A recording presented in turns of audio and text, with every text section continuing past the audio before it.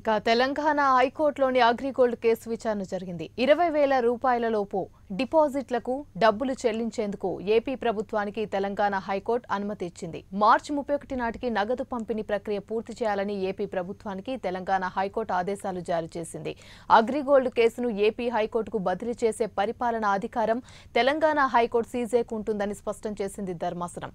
ఇక ఇదే అంశంపై మరింత సమాచారం మా క్రైమ్ బ్యూరో చీఫ్ కృష్ణ అందిస్తారు. కృష్ణ రక్షణ పోరాటాల ఫలితం అగ్రిగోల్డ్ డిపాజిటర్దారులకు కాస్త ఊరట లభించింది. ఏదైతే అగ్రిగోల్డ్ డిపాజిటర్ల విషయంలో ఆంధ్రప్రదేశ్ ప్రభుత్వం విన్నపాన్ని సానుకూలంగా తెలంగాణ కోర్టు స్పందించడం జరిగింది.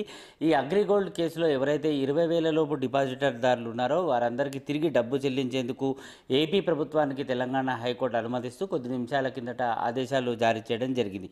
అయితే గతంలో ఏదైతే వార్డు సచివాలయం ద్వారా ఈ సిఐడి సిఐ డిపాజిట్ డిపాజిటర్దారుల వివరాలు అనేవి సేకరించాలి. అలాగే ఆ వివరాలను సిఐడి డిఎస్పి ఆర్డీఓ పరిశీలించిన తర్వాత కలెక్టర్ ద్వారా అర్హులైన డిపాజిటర్దారులకు బ్యాంకు ఖాతాలో జమ చేయాలి. ఎందుకంటే డిపాజిటర్ల వ్యవహారానికి సంబంధించి చూస్తే చాలా మటుకు వేలాది వందల సంఖ్యల్లో కూడా చాలామంది బాధితులు ఉన్నప్పటికీ కూడా ఆ డిపాజిటర్ల వ్యవహారానికి సంబంధించి వారు ఏదైతే చూపిస్తున్న పత్రాలు అసలువా నకలివా అనేవి పోల్చుకోవాల్సిన అవసరం ఉంది. వాటన్నిటిని కూడా పరిశీలన చేయాల్సిన బాధ్యత అటు సిఐడి డిఎస్పి ఆర్డీఓ కలెక్టర్లకు కూడా బాధ్యతలు అప్పగిస్తూ ఒకవేళ వారు సమర్పించిన ఈ డిపాజిట్లకు సంబంధించిన ఏవైతే దరఖాస్తు పత్రాలు ఉంటాయో అవి సక్రమమైనప్పుడే వారి ఖాతాలో మాత్రమే ఈ అమౌంట్ను జమ చేయాలని కూడా చెప్తుంది. మార్చి ముప్పై ఒకటి నాటికి నగదు పంపిణీ పంపిణీ ప్రక్రియ పూర్తి చేయాలని కూడా ఏపీ ప్రభుత్వానికి హైకోర్టు ఆదేశాలు జారీ చేయడం జరిగింది. ఇక ఈ కేసు వ్యవహారానికి సంబంధించి అగ్రిగోల్డ్ వివాదం ఏదైతే తలెత్తిందో ఆ సమయంలో వాటికి సంబంధించిన యాజమాన్యాలు తమ వద్ద తనఖా పెట్టి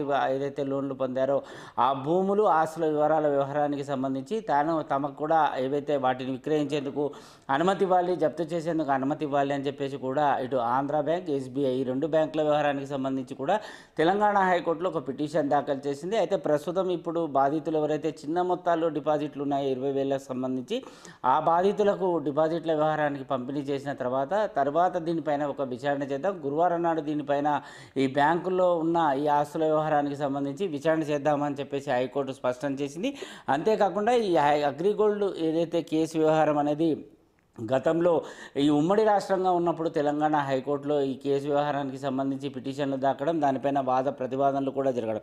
సో ఈ అగ్రిగోల్డ్ కేసును ఏపీ కోర్టుకు బదిలీ చేయాలని ఏపీ పిటిషన్ పైన కూడా కోర్టు సానుకూలంగా స్పందించింది. బదిలీ చేసే అధికారం తెలంగాణ కోర్టుకు ఉంది కాబట్టి సీజేకు ఉంది కాబట్టి తగిన సమయంలో ఈ నిర్ణయం తీసుకుంటామని కూడా చెప్పింది. సో కొన్ని ఏళ్ళ తరబడి ఏదైతే ఈ నిరీక్షణ చేస్తూ పోరాటాలు చేసిన వాళ్ళలో వేలాది మంది బాధితుల్లో చాలామంది ఇప్పటికే ఆత్మహత్యలు చేసుకోవడం కొంతమంది చనిపోవడం. సో వారి కుటుంబాలకు సంబంధించిన వ్యక్తులు ఎవరైనా సరే రక్త సంబంధికులు ఎవరైనా కనుక వారి దగ్గర ఉన్న ఈ డిపాజిట్ల వ్యవహారానికి సంబంధించి కనుక పత్రాలు కనుక సమర్పించి ఆ డిపాజిటర్దారులు ఎవరైనా కనుక చనిపోయి ఉంటే వారికి సంబంధించిన డెత్ సర్టిఫికెట్లను కూడా ఈ ఆర్డీఓ సిఐడి డిఎస్పికి సమర్పించిన తర్వాత కలెక్టర్ వాటిని వాటిని పరిశీలించి మొత్తానికి ఆ డిపాజిటర్దారులకు అందజేస్తాం.